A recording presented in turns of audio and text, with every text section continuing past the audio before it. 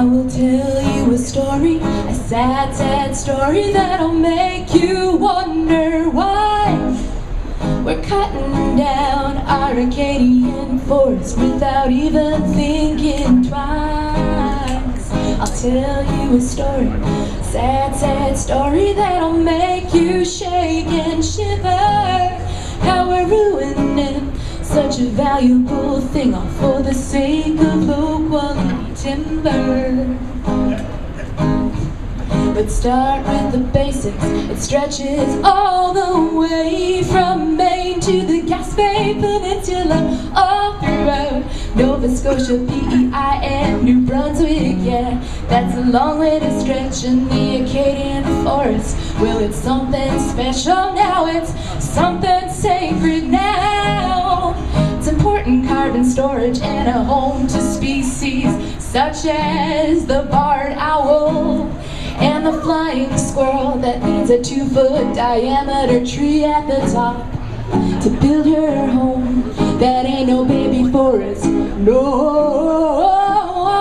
that's only old growth. Well, I will tell you a story, a sad, sad story that'll make you wonder why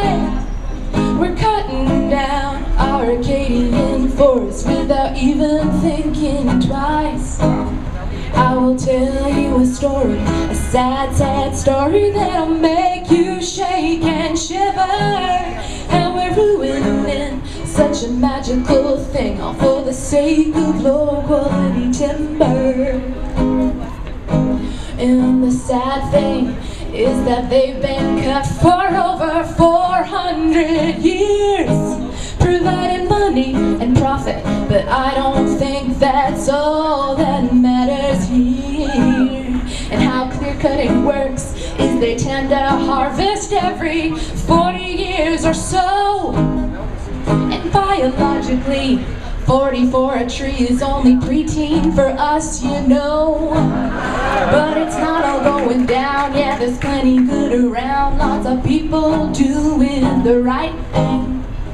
Private woodlot owners choosing high quality timber over mass harvesting.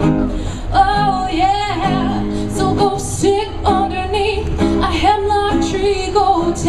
sugar maple just how you care, cause they're not gonna fight for themselves. We got to bring about liberty. Oh, oh. Cause I think we owe it to the trees.